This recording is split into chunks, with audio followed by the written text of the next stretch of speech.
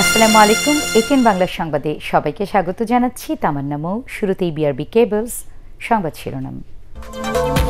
Corona ভাইরাসে দেশে গত চব্বিশ ঘন্টায় আরও চৌত্রিশ জনের মৃত্যু, নতুন করে শনাক্ত এক হাজার সাতশো বিরানব্বই।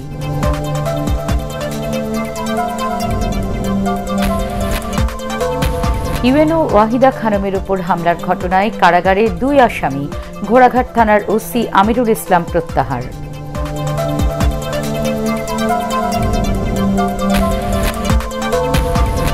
শ্বাসনালী পুড়ে যাওয়ায় নারায়ণগঞ্জে মসজিদে বিস্ফোরণের ঘটনায় বেঁচে থাকা পাঁচজনের অবস্থাও সংকটাপন্ন।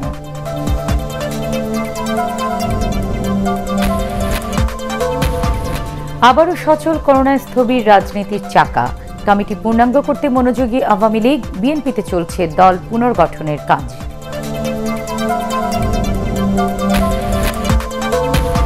এবং পদ্মার মূল সেতুর প্রায় নব্বই ভাগ কাজ শেষ হয়েছে, জানালেন সড়ক পরিবহন ও সেতুমন্ত্রী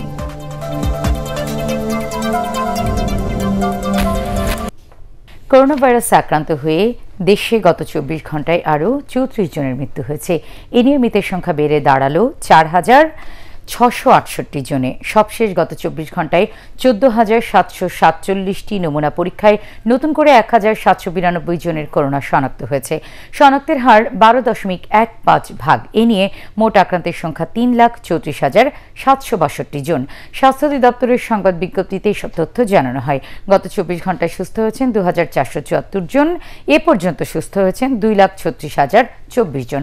শনাক্ত বিবেচনায় সুস্থতার হার সত্তর দশমিক পাঁচ এক ভাগ। মৃতদের মধ্যে পঁচিশ জন পুরুষ ও জন নারী। চব্বিশ ঘন্টায় ঢাকা বিভাগে সর্বোচ্চ উনিশ জন এবং চট্টগ্রাম বিভাগে পাঁচজন মারা গেছেন।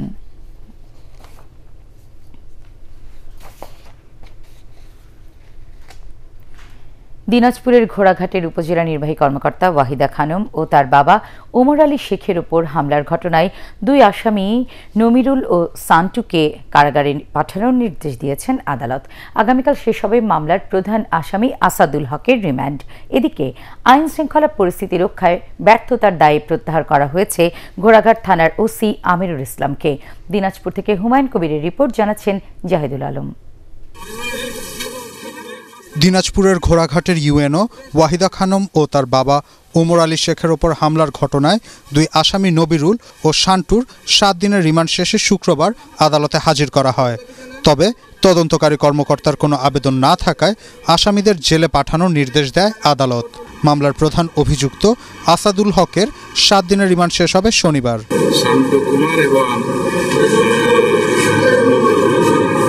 এবং শেষে আজকে তদন্তকারী কর্মকর্তা ডিবি বিজ্ঞ আদালতে জমা দিয়েছেন এই জমা দিলে এখানে তারপরে উপস্থাপন হোক, তারপর তারা যেখানে চলে যাবে। এর আগে উপজেলার আইন শৃঙ্খলা পরিস্থিতি রক্ষার ব্যর্থতার দায়ে প্রত্যাহার করা হয় ঘোড়াঘাট থানার ভারপ্রাপ্ত কর্মকর্তা আমিরুল ইসলামকে। সে রাতে পুলিশের টহল নিয়েও প্রশ্ন উঠেছিল তার বিরুদ্ধে। এদিকে ইউএনও ওয়াহিদা খানমের শারীরিক অবস্থার উন্নতি হচ্ছে বলে জানিয়েছেন national institute of neuro sciences ও হাসপাতালের চিকিৎসকরা। স্বাভাবিকভাবে কথা বলছেন। হয়তো স্বাভাবিকভাবে খেতে না পারলেও নরম খাবার খেতে পারছেন। ওভারঅল যে স্বাভাবিক বলতে, আপনার আমার মতো হয়েছে, আপনি হয়তো সেটাই বোঝাতে চাচ্ছেন। তো সেটা তো একটু টাইম লাগবে, এটা তো আমরা বলছি। এখন পর্যন্ত তো আমরা খারাপ কিছু বলিনি। যখন ভর্তি হয়েছেন, তখন থেকে আস্তে আস্তে আস্তে আস্তে কিছুটা ইম্প্রুভিংই বলছি আমরা, তাই না? আল্লাহ যদি চাহেন তো আমরা এইভাবে ধরে রাখতে পারি আমাদের জন্য এখন টার্গেট গত দুই সেপ্টেম্বর, ঘোড়াঘাটের উপজেলা নির্বাহী কর্মকর্তা ওয়াহিদা খানম ও তার বাবার উপর নৃশংস হামলা চালায় দুর্বৃত্তরা। জাহিদুল আলম এটিএন বাংলা নারায়ণগঞ্জে মসজিদে বিস্ফোরণের ঘটনায় বেঁচে থাকা পাঁচজনের অবস্থাও সংকটাপন্ন। আইসিইউতে রাখা হয়েছে তাদের। বৃহস্পতিবার তিনজন মারা যাওয়ায় এই ঘটনায় মৃতের সংখ্যা বেড়ে দাঁড়িয়েছে একত্রিশ জনে। চিকিৎসকরা জানান শ্বাসনালী পুড়ে যাওয়ায় চিকিৎসাধীন পাঁচজনকে নিয়েও চিন্তিত তারা। আরও জানাচ্ছেন শফিকুল ইসলাম শামীম। নারায়ণগঞ্জের ভয়াবহ এ দুর্ঘটনায় দগ্ধ মোট সাঁত্রিশ জনকে ভর্তি করা হয়েছিল ঢাকার শেখ হাসিনা জাতীয় বার্ন অ্যান্ড প্লাস্টিক সার্জারি ইনস্টিটিউটে। এর মধ্যে মাত্র একজন সুস্থ হয়ে বাড়ি ফিরেছেন। গ্যাস লিকেজ থেকে মসজিদের ওই বিস্ফোরণে যারা দগ্ধ হয়েছেন, তাদের প্রায় সবারই শ্বাসনালী পুড়েছে। তাই এত মৃত্যু বলে জানালেন চিকিৎসকরা। এই পাঁচজনের অবস্থাও যে শঙ্কামুক্ত, এটা আমরা বলতে পারব না। হ্যাঁ এদের অবস্থাও আশঙ্কা, আশঙ্কাজনক। এখন আমরা আমাদের সাধ্যমতো চেষ্টা করছি বাকিটা উপরওয়ালার হাতে এবং তাদের শরীরের যেটা মানে অবস্থা, সেটার উপর নির্ভর করবে। এদিকে আইসিইউতে থাকা পাঁচ রোগীর স্বজনরা এখনও ভিড় করছেন হাসপাতালে। একটু চোখের দেখা কিংবা স্বজনের কাছে যেতে এখন দিনের পর দিন কষ্টের অপেক্ষা তাদের। আমার সন্তান কেমনে এরকম হইল আমি তো কিছু বুঝতেছি না। বাঘের মুখে তো ফিরে আসবার কথা, দমের দুয়াতন ফিরে আসবার কথা আসে নাই। আল্লাহ তার হয়াত দারাজ করক। ইয়া করি, মার তো হুশ আসেনি মার তো যেদিন কমেছে ওই দিন, দুই দিন তো আমি অজ্ঞান আছিলাম, আমি কিছু বলতে পারি না এক নজর দেখে আমি তো তারে সহ্য করতে পারি না। ওই কমে গেছে এই দিক মুখ মুখমণ্ডল আর দুই হাত দেখছি লোক তো একে একে সব যাচ্ছে। আঙুর একটু মৃত্যুকাল একটু দেখতে দেন অনুভরে আনসার গেলে কয় না ডাক্তারের নিচে। আমার ঘর বাবার আর কিছু নেই। গত চার সেপ্টেম্বর এশার নামাজের সময় নারায়ণগঞ্জের বাইতুস সালাদ জামে মসজিদে বিস্ফোরণের এ ঘটনা এখন সারা জীবনের কষ্ট কান্না হয়ে গেছে ভাগ্যহত এসব মানুষের। শফিকুল ইসলাম শামীম এটিএন বাংলা ঢাকা। করোনা মহামারীর কারণে স্থবির রাজনীতির চাকা আবারও সচল হচ্ছে। ঢাকা মহানগরের দুই কমিটি সহ সম্মেলন হয়ে যাওয়া অঙ্গ সংগঠনের কমিটি পূর্ণাঙ্গ করার মাধ্যমে দলের কার্যক্রমে গতি আনার উদ্যোগ নিয়েছে ক্ষমতাসীন আওয়ামী লীগ। অন্যদিকে, বিএনপিতেও চলছে তৃণমূল পর্যায় থেকে দল পুনর্গঠনের কাজ। এই প্রক্রিয়া শেষে জাতীয় কাউন্সিলের চিন্তাভাবনা রয়েছে দলটির। বিস্তারিত মইনুল হাসানের বিশেষ রিপোর্টে.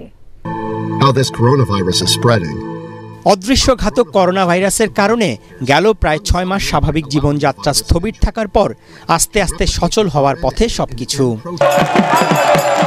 করোনা সংক্রমণের আশঙ্কায় রাজনৈতিক কর্মকাণ্ড কার্যত বন্ধ হয়ে যায়। প্রায় ছয় মাস পর সেই স্থবির রাজনৈতিক কর্মকাণ্ড আবারও সচল করার উদ্যোগ নিয়েছে দেশের প্রধান দুই দল, আওয়ামী লীগ ও বিএনপি। সম্প্রতি দলের নীতি নির্ধারকদের সভায় দ্রুত সম্মেলন হয়ে যাওয়া ঢাকা মহানগর আওয়ামী লীগ সহ অঙ্গ সংগঠন যুবলীগ, কৃষক লীগ ও স্বেচ্ছাসেবক লীগের কমিটির খসড়া চলতি মাসের পনেরো তারিখের মধ্যে জমা দেওয়ার নির্দেশ দেন দলের সভাপতি শেখ হাসিনা। যেই সংগঠনগুলোর সম্মেলন সমাপ্ত হয়েছে, যাদের কমিটিগুলো এখন পর্যন্ত পূর্ণাঙ্গ রূপ নিতে পারে নাই তো সেই জায়গাগুলো তাদেরকে একটা সুপারিশ আকারে পূর্ণাঙ্গ কমিটি দেওয়ার ব্যাপারে আমরা তাদেরকে বলেছি। আর স্বাভাবিক একটা জীবনযাত্রা শুরু হবে।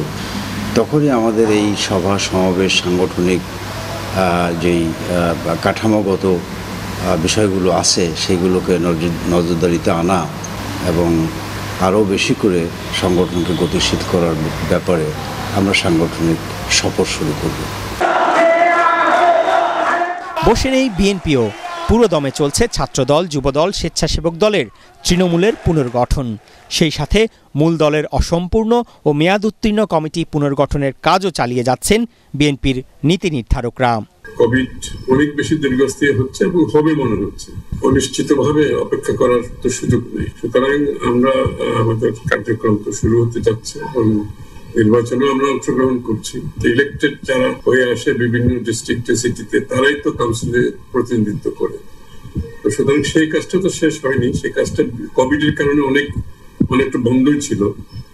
এখন কোভিড এর পরে সেই কাজটাও শুরু হবে। সেই কাজটা শেষ হলেই তখন হয়তো দল সিদ্ধান্ত নেবে কাউন্সিলের সেই সাথে ঢাকার দুইটি সহ কয়েকটি সংসদীয় আসনের উপনির্বাচন ও আসন্ন স্থানীয় সরকারের কয়েক ধাপের নির্বাচনকে উপলক্ষ করে নেতাকর্মীরাও মাঠের রাজনীতিতে সক্রিয় হচ্ছেন। মইনুল হাসান, এটিএন বাংলা, ঢাকা। পদ্মার মূল সেতুর প্রায় নব্বই ভাগ কাজ শেষ হয়েছে বলে জানিয়েছেন সড়ক পরিবহন ও সেতুমন্ত্রী ওবায়দুল কাদের। রাজধানীতে পদ্মা সেতু প্রকল্পের অগ্রগতি পর্যালোচনা সভায় ভিডিও কনফারেন্সে তিনি আরও বলেন, পদ্মা সেতু প্রকল্পের সার্বিক অগ্রগতি একাশি ভাগেরও বেশি শেষ হয়েছে। এ সময় রাজনৈতিক দলসমূহের নিবন্ধন আইনের সংশোধনী একমাত্র নির্বাচন কমিশনের ইখতিয়ার বলে মন্তব্য করেন আওয়ামী লীগ সাধারণ সম্পাদক আপিল মাহমুদের রিপোর্ট।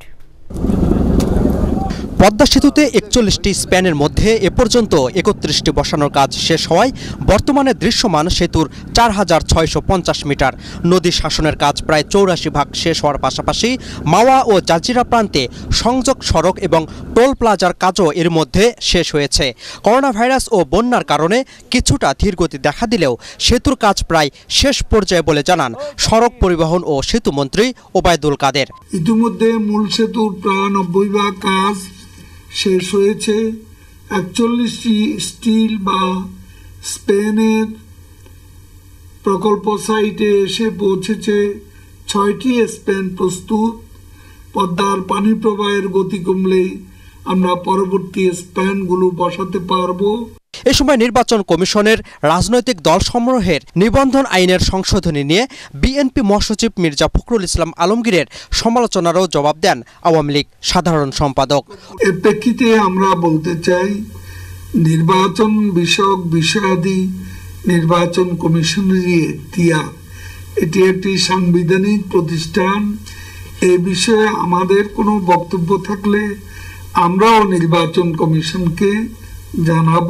অবাধ সুষ্ঠু ও অংশগ্রহণমূলক নির্বাচন আয়োজনে নির্বাচন কমিশনকে আগামীতে সংবিধান অনুযায়ী সরকার সব ধরনের সহযোগিতা করবে বলেও জানান ওবায়দুল কাদের। আপেল মাহমুদ এটিএন বাংলা ঢাকা। মুজিব বর্ষে অন্তত আরও একজন বঙ্গবন্ধুর পলাতক খুনিকে দেশে এনে শাস্তির ব্যবস্থা করা হবে বলে জানিয়েছেন পররাষ্ট্রমন্ত্রী ডক্টর এ কে আব্দুল মোমেন। জাতীয় প্রেস ক্লাবে এক সভায় তিনি বলেন, পলাতক পাঁচজনের মধ্যে দুজনের খোঁজ জানে সরকার। তাদের একজন কানাডায় ও আরেকজন যুক্তরাষ্ট্রে অবস্থান করছেন। পলাতক এসব খুনিদের শনাক্ত ও দেশে ফিরিয়ে আনতে সবার সহযোগিতা চান পররাষ্ট্রমন্ত্রী। বাকি রইল পাঁচজন। পাঁচজনের মধ্যে দুইজনের আমরা ঠিকানা জানি। একজন মার্কিন যুক্তরাষ্ট্রে আছেন আর একজন আছে আপনার এই কানাডায়। আমরা মাননীয় প্রধানমন্ত্রীও বিভিন্নভাবে আমাদের চেষ্টা করছেন এবং আমরা আশাবাদী যে আরেকজনকে আমরা এই মুজিব বর্ষে আপনারা আনতে পারব বলে আমাদের বিশ্বাস আগামী আমন মৌসুমের আগেই কৃষকদের অর্ধেক দামে কৃষি যন্ত্রপাতি দেবে সরকার। এজন্য তিন হাজার বিশ কোটি টাকার প্রকল্প অনুমোদনের পর বাস্তবায়নের অপেক্ষা রয়েছে। প্রকল্পের আওতায় হাওড় ও লবণাক্ত অঞ্চলে সত্তর শতাংশ এবং অন্যান্য এলাকায় পঞ্চাশ শতাংশ ভর্তুকি দেওয়া হবে বলে জানিয়েছেন কৃষিমন্ত্রী ড আব্দুর রাজ্জাক। শফিকুল ইসলাম শামীমের আরেকটি রিপোর্ট। শ্রমিক সংকট আর প্রাকৃতিক দুর্যোগের কারণে দেশে প্রতি বছর সময়মতো ফসল ঘরে তুলতে পারেন না অনেক কৃষক। এতে কৃষক যেমন ক্ষতিগ্রস্ত হচ্ছেন, তেমনি দেশে খাদ্য ঘাটতি তৈরিরও আশঙ্কা থাকে। সরকার মনে করে এ অবস্থায় কৃষকের কাছে ধান কাটার যন্ত্রসহ আধুনিক কৃষি যন্ত্রপাতি পৌঁছে দিতে পারলে ভোগান্তি যেমন কমবে, তেমনি কৃষিখাত হবে লাভজনক। এজন্য কৃষি মন্ত্রণালয় থেকে একান্ন হাজার তিনশো কৃষি যন্ত্র বিতরণ করা হবে। সরকার একটা প্রকল্প গ্রহণ করেছে, তিন হাজার বিশ কোটি টাকার সেই প্রকল্পের মাধ্যমে আমরা এই কৃষি যন্ত্রপাতি চাষিদেরকে দিব এবং প্রণোদনা দিব। এই প্রণোদনার একটা নীতি গ্রহণ করা হয়েছে যে সমতল ভূমিতে ফিফটি পার্সেন্ট প্রণোদনা দেওয়া হবে। কিন্তু হাওড় এলাকা প্রতিকূল পরিবেশ যে খুব দরকার। আর একটা হলো লবণাক্তার উপকূলবর্তী এলাকা। সেই এলাকায় আমরা সত্তর ভাগ দিব। ইতিমধ্যে এটা এক একনেকে অ্যাপ্রুভ হয়েছে। আমরা পিডি নিয়োগ দেই নাই। এটা খুবই কম সময়ের মধ্যে এটা ইমপ্লিমেন্টেশনে যাবে। প্রকৃত কৃষক যাতে এই প্রকল্পের সুবিধা পান সেজন্য উপজেলা পর্যায়ে কমিটি করা হয়েছে। যাচাই বাছাই শেষে কৃষি যন্ত্রপাতি বিতরণ শুরু হবে বলে জানিয়েছেন কৃষি অধিদপ্তরের মহাপরিচালক। এছাড়া কৃষি যন্ত্রপাতি চালানো এবং মেরামতের জন্য প্রশিক্ষণেরও উদ্যোগ নেওয়া হয়েছে। যারা এটাকে পরিচালনা, চালনা করবেন ড্রাইভিং করবেন, এই ধরনের এই এই জনগোষ্ঠীকে আমরা কিন্তু প্রশিক্ষণ দিতে পারব এই প্রকল্পের মাধ্যমে এবং প্রশিক্ষণ পেলে তারা দেখা যাবে তাদের ছোটোখাটো যদি ত্রুটি হয়, সেই মেশিনটা দ্রুত তারা সারিয়ে নিতে পারবে। উপজেলা পর্যায়ে একটি কমিটি রয়েছে এবং এই কমিটি কারা কারা যন্ত্র নিবে তাদের একটা তালিকা প্রস্তুত করে এটা যাচাই বাছাই করবে। যাচাই বাছাই করে সেই কমিটি অনুমোদন দেবে। অনুমোদন দিয়ে একটা প্রত্যয়নপত্র তারা দিবে। যে অমুককে এই মেশিনটি দেওয়া যায়। কৃষি যান্ত্রিকীকরণ নামের এই প্রকল্প তিন পার্বত্য জেলা বাদে সারা দেশে বাস্তবায়িত হবে। শফিকুল ইসলাম শামীম এটিএন বাংলা ঢাকা। একদিনের ব্যবধানে রাজধানীর পাইকারি বাজারে পেঁয়াজের দাম বেড়েছে তিন থেকে চার টাকা পর্যন্ত। খুচরা বাজারে বেড়েছে কেজিতে সর্বোচ্চ দশ টাকা। ব্যবসায়ীরা বলছেন সরবরাহ কম থাকায় প্রতিদিন দাম বাড়ছে। স্বস্তিতে নেই আদা রসুনেও। ভরা মৌসুম হলেও ইলিশের বাড়তি দাম নিয়ে আছে অনেক অভিযোগ। দেখুন আদ্দিন সজীবের রিপোর্ট। কুরবানি ঈদের পর থেকেই ঢাকার বাজারে স্বস্তি নেই। করোনায় বিপদগ্রস্ত মানুষের কাছে এখন বাজার মানেই ভয় আর দুর্ভাবনার। একদিন আগেও রাজধানীর পাইকারি বাজারে প্রকারভেদে পেঁয়াজের কেজি ছিল যা, এখন তা বেড়েছে আরও তিন চার টাকা। অসহনীয় হচ্ছে দিনে দিনে। ভোক্তা অধিদপ্তর বা আমাদের সরকারের যে সংস্থা আছে তাদের যদি ঠিকমতো তদারতি থাকতো হয়তো বা এরকম অসহযোগ মানে ধামাধাম রাতারাতি এরকম দাম বাড়- বাড়তো না। পেঁয়াজ এখন বর্তমান লাগানোর সময় পেঁয়াজটা একটু শর্ট আছে। আপনি এইগুলো আপনার উত্তরবঙ্গে যাচ্ছে বেশি। ঢাকায় কম আসে পিসটা আর আদায় তো হাতি দেয়া যায় না। পাইকারিতেই মানভেদে কেজি দুশো টাকা পর্যন্ত রসুনের দামও বাড়তি কয়েক সপ্তাহ ধরে। যারা ইনপুট করে আদা আনতাছে তারা মনে করেন যে একশো পঁচানব্বইটা তাদের পড়তে বসছে বাংলাদেশ এসে। পাইকারি বাজারের যখন এমন অবস্থা তখন খুচরাই তো কথাই বলা কঠিন। পেঁয়াজ আদা রসুন ভোজ্য তেল সব কিছুর দামই যেন আকাশ ছোঁয়া। এক কেজি পেঁয়াজ কালকে পঁচাত্তর টাকা কেজি কিনছি আপনার আশি টাকাতে নব্বই টাকা বিক্রি করি। এক কেজি আদা গত সপ্তাহে একশো ষাট সত্তর টাকা ছিল। আজকের বাজার বর্তমানে দুশো বিশ টাকা দুশো চল্লিশ টাকা করে খুচরা বাজারে চলে। ঝাঁকে ঝাঁকে এখন ধরা পড়ছে ইলিশ। সস্তায় কিনে এনে ঢাকার বাজারে চড়া দাম হাঁকাচ্ছেন বিক্রেতারা। ওদিকে মৌসুমি ইলিশের চাহিদাও বেড়েছে কয়েক গুণ। পাঁচশো টাকা মতো কেজি শুনতেছি বরিশালে সেখানে নিচে আটশো টাকা করে কেজি। আমরা বেশি নিচ্ছি নাকি? বেশি হয়ে যাচ্ছে মানে ওইখানে আপনি আড়তে গেলে বুঝতে পারবেন যে কেতা কত যাচ্ছে। ও মানে আড়তে কেতা যায় মানে জিনিসের দাম উঠে দেয় মানুষের ক্রয় ক্ষমতা কমলেও গত দুই তিন মাস ধরে চাল আর সবজির বাজারেও অস্বস্তি লেগেই আছে। তাই সরকারি তদারকি বাড়ানোর অনুরোধ। সাধারণ ক্রেতাদের। আদিন সজীব এটিএন বাংলা ঢাকা। রাজধানীর কারওয়ান বাজারে মেয়াদোত্তীর্ণ আমদানি করা বিভিন্ন ফাস্টফুড আইটেম সরবরাহ করায় কমলা ট্রেডিংকে বিশ লাখ টাকা ও মিজান এন্টারপ্রাইজকে ছ লাখ টাকা জরিমানা করেছেন র্যাবের ভ্রাম্যমাণ আদালত। এছাড়াও কমলা ট্রেডিংয়ের মালিক কামরুল হাসান রতনের বিরুদ্ধে মামলা দায়ের করা হয়েছে। এর আগে মাছের আড়তে বিষাক্ত মাছ সরবরাহ ও ক্ষতিকর রং মেশানোর অভিযোগে পাঁচজনকে বিভিন্ন মেয়াদে কারাদণ্ড দেওয়া হয়। রিপোর্ট করছেন মনির হোসেন তপু। শুক্রবার র্যাবের ভ্রাম্যমাণ আদালত অভিযান চালায় কারণ বাজারের খুচরা ও পাইকারি বাজারে। এ সময় কমলা ট্রেডিংয়ের এই গুদামে পাওয়া যায় আমদানি করা মেয়াদ উত্তীর্ণ বিভিন্ন ফাস্টফুড আইটেম, যা নতুন করে মোড়ক পরিবর্তন করে বাজারে ছেড়ে দেওয়া হতো। এখানে নেই ফ্রিজিং খাবার সরবরাহের পরিবেশও।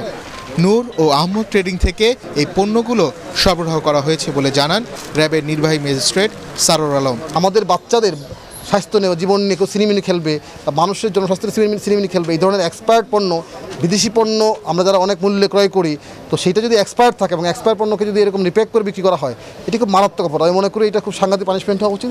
সুতরাং আমরা দেখছি যে এর সাথে কারা কারা জড়িত প্রত্যেকম পরোক্ষ হয় প্রত্যেককে আমরা আইনের আওতায় নিয়ে আসবে এর আগে মাছের আড়তে অভিযানে বিষাক্ত পিরাহা আফ্রিকার মাগুর ও টেক্সটাইলের রং মেশানো পোয়া মাছ বিক্রির অপরাধে ব্যবসায়ীদের বিভিন্ন মেয়াদে সাজা দেওয়া হয়।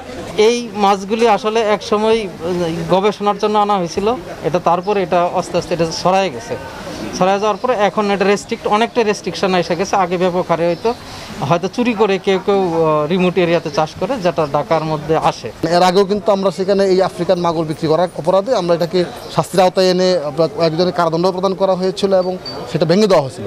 দুঃখজনক হলো তারা আবার শুরু করেছে। তো আজকে মালিক সমিতি বা আরদার সমিতি আমাদের কমিটমেন্ট দিয়েছেন যে অবশ্যই তারা এই কাজটি করবেন না। মৎস্য অধিদপ্তর ও র্যাব যৌথভাবে এই অভিযান পরিচালনা করে। বিক্রয় নিষিদ্ধ এসব মাছ ও ভেজালের বিরুদ্ধে অভিযান অব্যাহত থাকবে বলে জানান র্যাবের এই নির্বাহী ম্যাজিস্ট্রেট। মনির হোসেন তপু এটিএন বাংলা ঢাকা। নাব্যতা সংকটের কারণে কয়েকদিন বন্ধ থাকার পর শিমুলিয়া কাঁঠালবাড়ি নৌ রুটে পরীক্ষামূলকভাবে ফেরি চলাচল শুরু হয়েছে। বিকেল সাড়ে চারটার দিকে শিমুলিয়া ঘাট থেকে যানবাহন নিয়ে কাঁঠালবাড়ি ঘাটের উদ্দেশ্যে রওনা দেয় তিনটি ফেরি। বিআইডব্লিউটিসির শিমুলিয়া ঘাটের সহকারী ব্যবস্থাপক মোহাম্মদ ফয়সাল জানান, বিআইডব্লিউটিএ থেকে চ্যানেলে ড্রেজিং করে নাব্যতা ফেরানোর কথা তাদের বলার পর পরীক্ষামূলকভাবে ফেরি চালু করা হয়। চলাচলে সমস্যা না হলে ফেরি চলাচল স্বাভাবিক করা হবে বলেও জানান তিনি। আওয়ামী লীগের শিল্প ও বাণিজ্য সম্পাদক হয়েছেন সাবেক বিজিএমইএ সভাপতি সিদ্দিকুর রহমান। দলটির দপ্তর সম্পাদক ব্যারিস্টার বিপ্লব বড়ুয়া স্বাক্ষরিত এক সংবাদ বিজ্ঞপ্তিতে এ তথ্য জানানো হয়েছে। এতে বলা হয়, একুশতম সম্মেলনে কাউন্সিলের ক্ষমতা বলে আওয়ামী লীগ সভাপতি শেখ হাসিনা সিদ্দিকুর রহমানকে শিল্প ও বাণিজ্য সম্পাদক পদে দায়িত্ব দিয়েছেন। সিদ্দিকুর রহমান বর্তমানে ব্যবসায়ীদের শীর্ষ সংগঠন এফবিসিসিআই এর সহ সভাপতি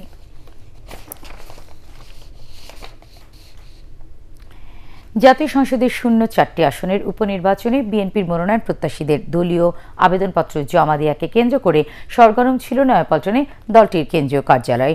সকাল থেকে নয়াপল্টনে মিছিল নিয়ে শোডাউন করেন কয়েকজন মনোনয়ন প্রত্যাশী। মিছিল নিয়ে ঢাকা আঠারো আসনের জন্য মনোনয়নপত্র জমা দেন যুবদল নেতা এস এম জাহাঙ্গীর। এছাড়াও ঢাকা পাঁচ আসনে নবী নবিউল্লাহ নবীসহ বেশ কয়েকজন আবেদন ফর্ম জমা দেন। এই সময় বিএনপির সিনিয়র যুগ্ম মহাসচিব রুহুল কবির রিজভি বলেন, উপনির্বাচনে বিপুল ভোটে জয়ী হবেন ধানের শীষের প্রার্থীরা। সব ধরনের প্রাকৃতিক দুর্যোগে সরকার দুস্থ ও অসহায়দের পাশে রয়েছে বলে জানিয়েছেন তথ্য প্রতিমন্ত্রী ডক্টর মুরাদ হাসান।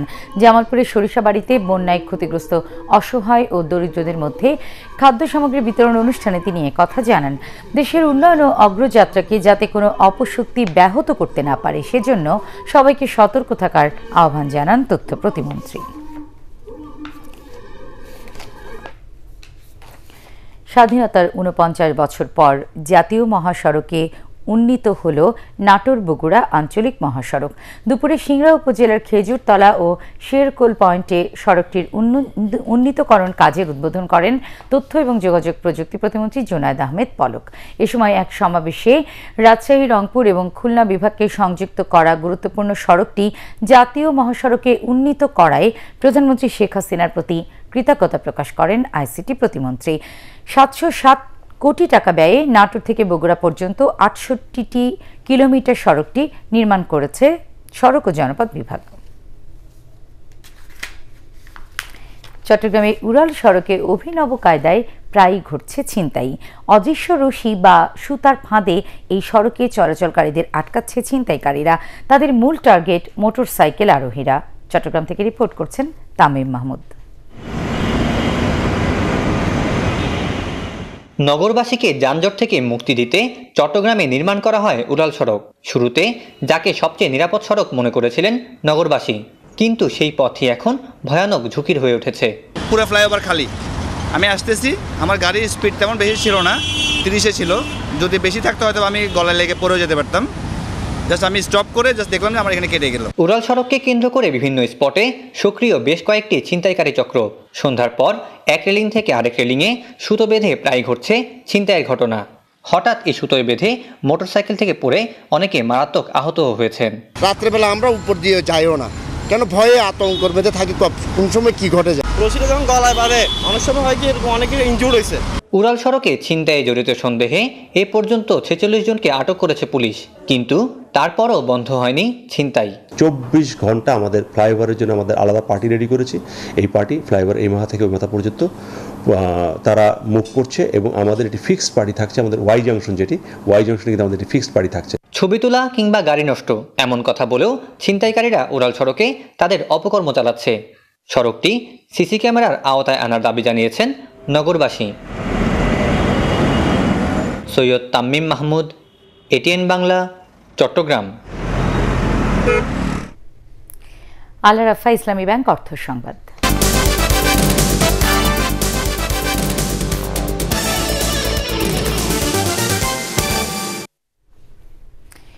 খুলনায় শেষ হল ডিজিটাল রাইস প্রকিউরমেন্ট অ্যাপসের মাধ্যমে খুলনা জেলায় শতভাগ চাল প্রকিউরমেন্ট কার্যক্রম। এ উপলক্ষে খুলনা জেলা প্রশাসকের সম্মেলন কক্ষে সমাপনী অনুষ্ঠানের আয়োজন করা হয়। এতে প্রধান অতিথি হিসেবে ঢাকা থেকে ভার্চুয়াল মাধ্যমে যুক্ত হন খাদ্যমন্ত্রী সাধন চন্দ্র মজুমদার। এ সময় তিনি বলেন, দেশে পর্যাপ্ত খাদ্যশস্য মজুত রয়েছে। এবছর ধান উৎপাদনও হয়েছে যথেষ্ট, তবে এক শ্রেণির ব্যবসায়ী কৃত্রিম সংকট সৃষ্টির চেষ্টা করছেন। তাদের বিরুদ্ধে কঠোর ব্যবস্থা নেওয়া হবে বলেও জানান খাদ্যমন্ত্রী। সাভারে বিদেশি ভেড়া অভিযোজনের মাধ্যমে শঙ্কর জাতের ভেড়া উৎপাদন করা হচ্ছে, জানিয়েছেন প্রাণী সম্পদ গবেষণা ইনস্টিটিউট বিএলআরআইএ। ইনস্টিটিউটের প্রকল্প পরিচালক ডক্টর সাদেক আহমেদ জানান, বিদেশি ভেড়া আমাদের দেশীয় পরিবেশে ভালোভাবেই অভিযোজন করতে সক্ষম হয়েছে। তবে নতুন জাতের ভেড়া উৎপাদনে আরও কয়েক মাস সময় লাগতে পারে। পার্টিক্স খেলার খবর।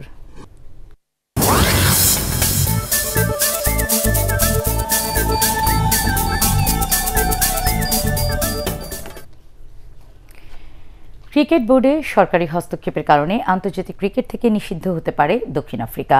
বৃহস্পতিবার ক্রিকেট দক্ষিণ আফ্রিকার সদস্য ও প্রধান নির্বাহী সহ সিনিয়র কর্মকর্তাদের সরে দাঁড়ানোর নির্দেশ দেয় দক্ষিণ African sports confederation and Olympic committee. এই পদক্ষেপের মাধ্যমে ক্রিকেট বোর্ডে প্রতিষ্ঠিত হয়েছে দেশটির সরকারের নিয়ন্ত্রণ। আইসিসির নিয়ম অনুযায়ী যে কোনো দেশের ক্রিকেট বোর্ডে সরকারি হস্তক্ষেপ অবৈধ। এমন আচরণের জন্য যে কোনো দেশকে আন্তর্জাতিক ক্রিকেট থেকে নিষিদ্ধ করার ক্ষমতা রাখে ক্রিকেটের সর্বোচ্চ নিয়ন্ত্রক সংস্থা। এদিকে সরকারের এই সিদ্ধান্তের বিরুদ্ধে আইনি লড়াই চালানোর ঘোষণা দিয়েছে ক্রিকেট দক্ষিণ আফ্রিকা। এখন আইসিসি খতিয়ে দেখবে সেখানে আইনের পরিপন্থী কিছু হয়েছে কিনা। আর্জেন্টাইন অধিনায়ক লিওনেল মেসির উপর থেকে নিষেধাজ্ঞা তুলে নিয়েছে south American football confederation CONMEBOL. ফলে দেশের জার্সি গায়ে বিশ্বকাপ বাছাই পর্বে ইকুয়েডরের বিপক্ষে খেলতে আর কোনো বাধা নেই ছয়বারের বিশ্বসেরা ফুটবলারের। গত বছর চিলির বিপক্ষে কোপা আমেরিকার তৃতীয় স্থান নির্ধারণী ম্যাচে লাল কার্ড দেখিয়েছিলেন বার্সেলোনা মহাতারকা। পরে আয়োজকদের বিপক্ষে বিভিন্ন অভিযোগ তুলেছিলেন লিওনেল মেসি। তখন তাকে তিন মাসের জন্য নিষিদ্ধ করেছিল কনমেবল। তবে বাছাই পর্বের খেলা পিছিয়ে যাওয়ায় ইকুয়েডরের বিপক্ষে ম্যাচেই মাঠে নামতে পারবেন লিওনেল মেসি।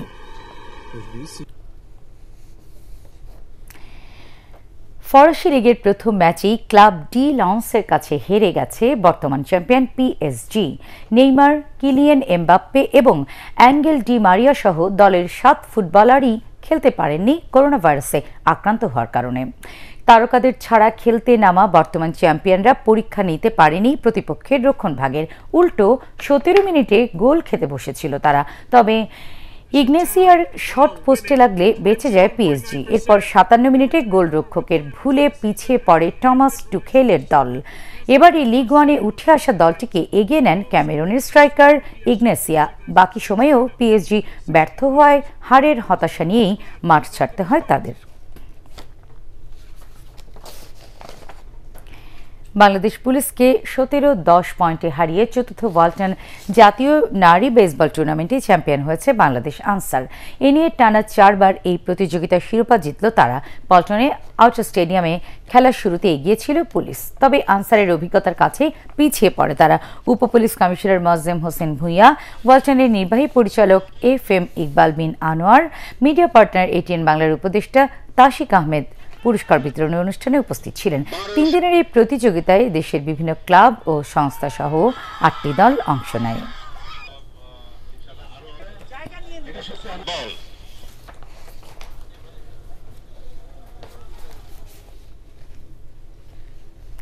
শেষ করার আগে বিআরবি কেবলস সংবাদ শিরোনাম আরও একবার।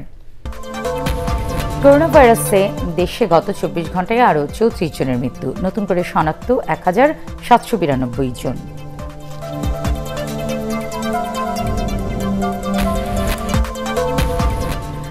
ইউএনও ওয়াহিদা খানমের উপর হামলার ঘটনায় কারাগারে দুই আসামি, ঘোড়াঘাট থানার ওসি আমিরুল ইসলাম প্রত্যাহার।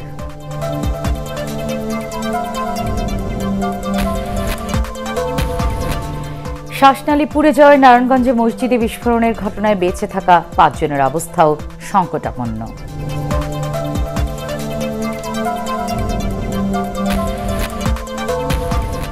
আবারও সচল করোনা স্থবির রাজনীতির চাকা। কমিটি পূর্ণাঙ্গ করতে মনোযোগী আওয়ামী লীগ। বিএনপিতে চলছে দল পুনর্গঠনের কাজ।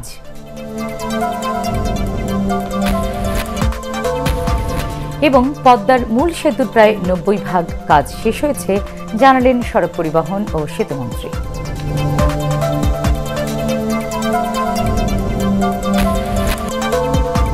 পরবর্তী সংবাদ দেখার আমন্ত্রণ জানিয়ে এখনকার মতো শেষ করছি।